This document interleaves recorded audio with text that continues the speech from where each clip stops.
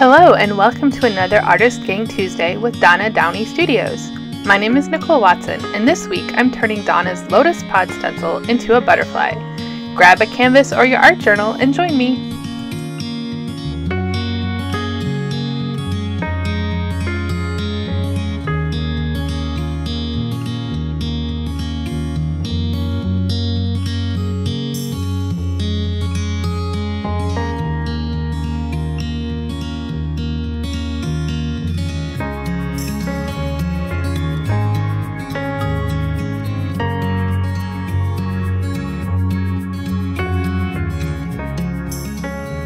The first step of the process is to build the background layer using ephemera, book text, and even some pattern tissue. You'll want to spread a coat of matte medium on the back and the front of each paper, and don't forget to add some ephemera to the sides as well.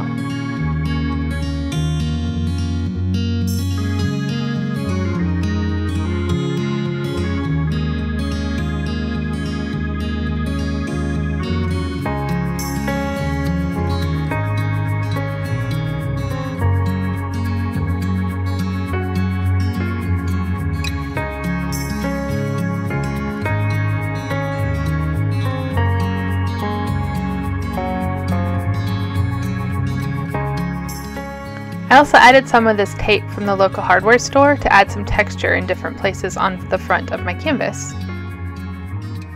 Next I added gesso in between all the different pieces of ephemera to kind of smooth it out, bring them together, and cover up some of the edges so that the papers looked a little bit more natural and not so chopped up on the front of the canvas.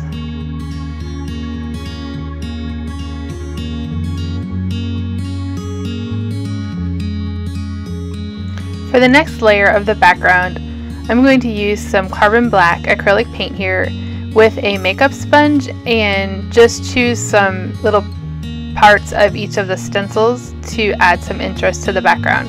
So I'm first I'm going to use the numbers and then I'm going to use um, a scribbly one which I think is fun because it ends up looking like some of the lines in the butterfly and then I'll use a chicken wire one and then also a flower one which I forgot to record but you'll see the flowers pop in there as well towards the end.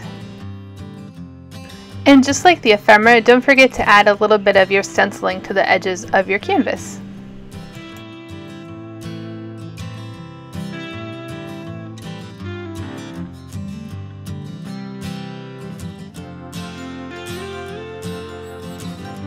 Once your layers are dry, it's time to add our butterfly wings using the Lotus Pod stencil. The first time I saw this stencil, I immediately thought that it would make the perfect wings for a butterfly, so that's what I wanted to do on this canvas. You'll first um, stencil this top part of your wing and then move the stencil down and stencil the bottom part of the wing. When I stenciled the bottom part, I didn't um, use all of the spots because I didn't want the wings to look exactly alike. And then later I decide that it needs a few spots so I do add some spots towards the front of the wing. And you'll see that a little bit um, down the way in the tutorial. So then I wanted to add the other wings on the other side of the butterfly but I wasn't ready to commit to its body yet. So I sketched in a body with a charcoal pencil knowing that I could erase it later if I wanted to change the shape, and added the wings on the left side of the butterfly using the same stencil. I also extended the left side wings on the edge of the canvas, and then I used the same black paint and officially painted in the body, and also touched up some areas where the stencil didn't um, come in clear or join some of the lines and made some of the spots a little bit more defined in areas that I didn't get it stenciled as well. Now I'm adding color to the wings. I'm using a combination of all these paints, a little bit of retarder, and I also added some white gesso to my pile as well. And I just used my finger and a paintbrush and put in paint here and there. I didn't really have any um, goal in mind other than just filling the wings up with like splotchy kind of fun colored because butterfly wings tend to be kind of splotchy or textured here and there. So I just wanted it to look kind of fun, whimsical, and a little splotchy. I also used this Dina Wakley tool to carve into my paint a little bit to kind of maybe make some of the um, veining and lines that butterflies have as well. And I just continued to use all of those colors and filled in the wings on the left and the right.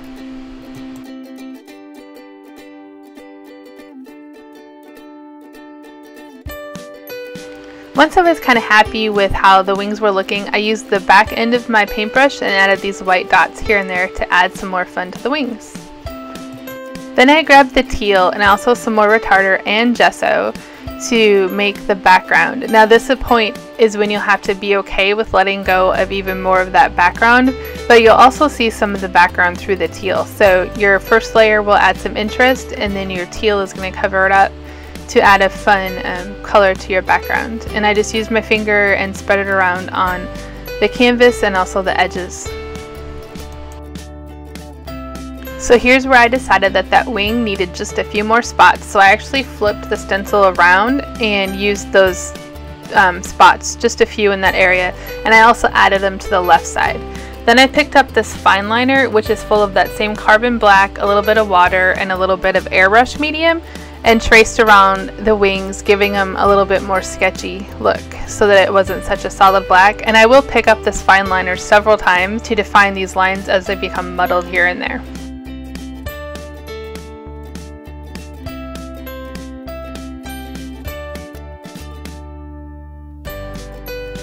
So then it was time to fill in that body. I didn't want the black to um, overpower all of the ephemera behind, so I did add a little bit of water to it so it wasn't as dark. And then I grabbed some rub-ons and added some of those here and there to the front of, of the canvas as well.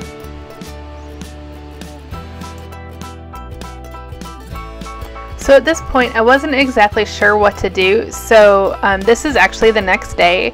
Before I went to bed that evening, I made a list of possible ideas of what I wanted to do and woke up the next morning and decided to um, add some more white spots here and there and then grab that butterfly washi tape and add um, some little butterflies strategically here and there on the front of the canvas to add some more interest. And once I put those down I did grab a little bit of um, of the teal paint and gesso and kind of disguise the edges so they didn't look like they were just sitting on top of the canvas. Um, before I did the paint, I did add a little bit of matte medium to make sure that that washi tape was secure to the front. And then I decided that I wanted to add a little bit of the teal um, in the actual butterfly itself. So I kind of used it as a shadow underneath the wings and in different places. Then I found this fine liner that I had already filled with a yellow color paint. I have no idea what color yellow it was, but thought it would be perfect to trace around those spots on the butterfly wings and that added a lot more interest and a lot more depth to my front. I also traced around the wings itself and then I actually did a little image search for butterflies because I wanted to do something to that body to make it look not so solid black and saw that some butterflies had stripes and spots on their bodies and so I decided to do that with the yellow and I also do it with the white coming up as well. Um, my butterfly wings were getting a little muddled and also those numbers on the front of my canvas so I just took the black and went over those numbers a little bit. I added a couple more numbers because I thought it needed more. Here I picked up the white that I spoke about earlier and added some white lines and also some little dots. The fine liner is perfect to make little dots.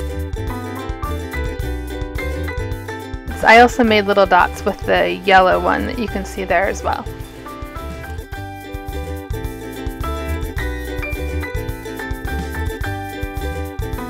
I also added some little white dots to the wings itself with that fine liner and decided that I needed to bring a little bit more of that teal into the wings. So just splashed some teal on the wings and also the body for a little bit more interest and wiped away any of the splashes that I didn't like.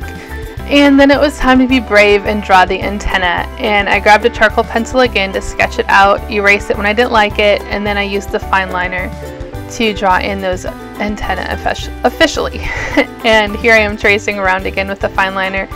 Like I said, I did this several times as those little lines disappeared and to add it more sketchy. And I do did draw some lines also with the black on the body to add a little bit more interest. And then to make those spots pop even more, I did add some white here and I found that I really liked that but didn't want to overdo it so I just traced a couple of the spots with white. So then I wanted to add a fun saying to the front. This all good things are wild and free sentiment from Donna's Unity Stamps uh, Wild and Free. Um, stamp set really spoke to me and I put that on the front. I used matte medium but um, on the front and on the back of the cardstock And then um, I used some of this Distress ink to grunge up the edges a little bit and also grunge up the edges of my cardstock saying. And Distress ink is water soluble, so if you do put this on your canvas, make sure that you spray the edges, otherwise it will all disappear. And the other good thing about that is if you get too much, like I did, um, you can wipe it away with a baby wipe. And then I traced um, around my words with that fine liner again to make them pop. And I decided that my lines weren't sketchy enough around my butterfly, so I took the fine liner and squiggled it a little bit, and then I added some orange splatter around my canvas, and I called it done.